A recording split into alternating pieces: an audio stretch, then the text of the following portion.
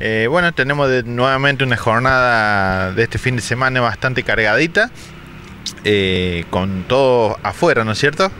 Eh, mañana sábado tenemos lo que es infantiles, categoría M0, M1 y M2, viajando a la Baulalle a jugar la segunda fecha del campeonato que se organiza de la Unión de la Zona Sur.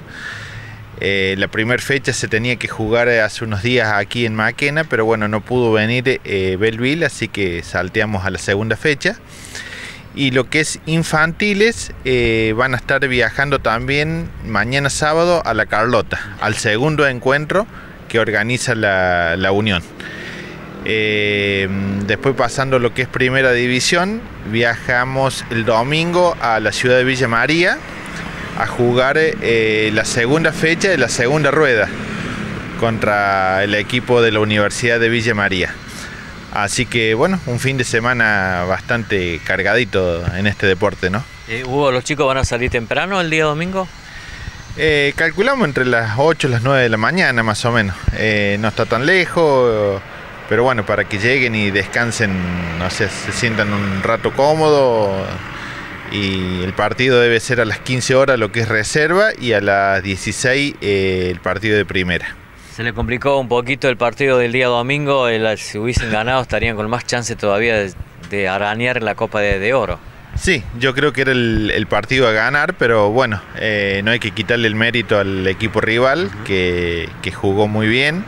Eh, los chicos de Maquena también han levantado muchísimo el nivel, pero bueno, son partidos que se pueden ganar y se pueden perder también, ¿no? Así que eh, a seguir con lo que queda, que las chances siguen intactas.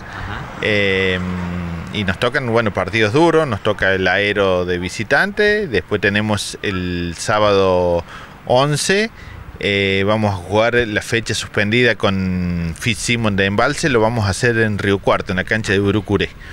Así que tenemos varios fines de semana seguidos con, mucha actividad. No, quedan muchos partidos para poder eh, levantar los chicos y poder llegar.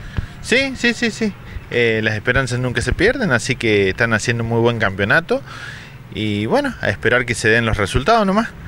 Eh. Así que mm, ya no, recuerdo bien cuándo tenemos fecha de local nuevamente, que va a ser con Fitzsimon el, el próximo Creo que tenemos dos, dos fines de semana seguidos con Fitzsimon de visitante, que lo vamos en Río Cuarto, y después luego con Fitzsimon aquí de local.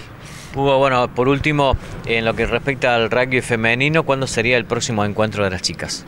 Eh, bueno, se habló el otro día en el partido que jugaron acá las chicas, en el encuentro, que se iba a hacer el día 26 de mayo en la localidad de Villa Huidobro pero después había uno o dos equipos que no podían viajar ese fin de semana, así que quedó en confirmarse la fecha.